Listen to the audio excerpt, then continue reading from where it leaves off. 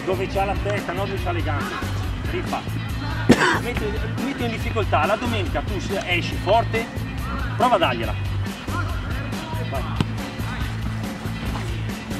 Deve fare questo. Lui deve vedere.